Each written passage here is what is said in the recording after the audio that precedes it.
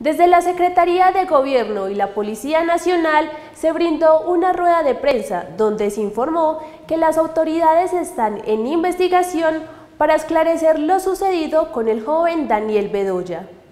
El joven fue encontrado en la madrugada del domingo 6 de marzo en vía pública en delicado estado de salud. Actualmente se encuentra en una unidad de cuidados intensivos en el municipio de Río Negro. Antes nos habíamos referido a este caso precisamente eh, porque estábamos esperando la prueba toxicológica que arrojaba eh, eh, el caso del joven Daniel, porque se había rumorado en el municipio de Sonsón se estaba dando escopolamina.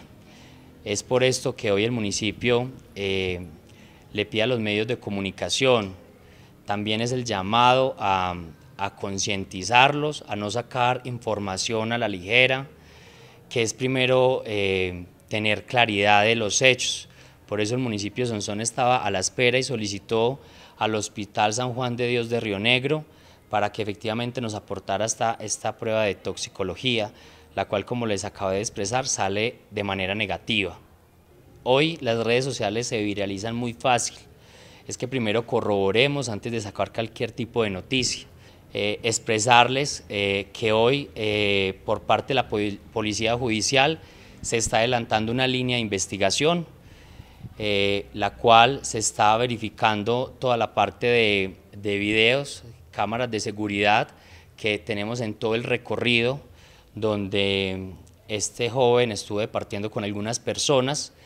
La idea es que cuando tengamos una cosa más clara, pues la idea es salir y contarle a toda la opinión, a la opinión pública sobre este caso en específico. Para las autoridades que atendieron la rueda de prensa, por ahora dar una hipótesis de lo que sucedió a Daniel Bedoya es prematuro. Esperarán hasta que avancen las investigaciones para dar más información. Así lo manifestó el secretario de gobierno local. Por eso es que no podemos hablar de hipótesis porque ahí es donde volvemos a entrar en que no estamos dando una cosa asertiva. En este momento de expresarles que el día de hoy eh, yo como secretario de gobierno y el señor alcalde estuvimos reunidos con la policía eh, y también con la SIGIN, que están ya con una línea de investigación que va muy bien, eh, donde están haciendo muy buenos aportes la misma comunidad a través de, de, videos, cámaras de seguridad, que obviamente, hay que decirlo, el municipio de Sonsón hoy tiene una gran falencia en el tema de cámaras de seguridad, pero con el último Consejo de Seguridad, eh, hoy precisamente tuve la llamada del secretario de Seguridad del departamento, eh, porque en esa última reunión de seguridad se quedó que obviamente ellos ya tienen un contrato eh, de cámaras de seguridad con algunos municipios, en el cual el municipio Sonsón en los próximos días debe llegar ya el oficio donde le envía el gobernador al señor alcalde